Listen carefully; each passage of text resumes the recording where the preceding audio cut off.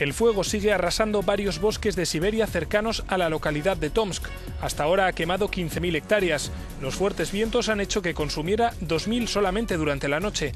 Los servicios de emergencia intentan de momento sin éxito controlarlo. Desde que comenzó el verano se han quemado en Siberia 200.000 hectáreas de vegetación.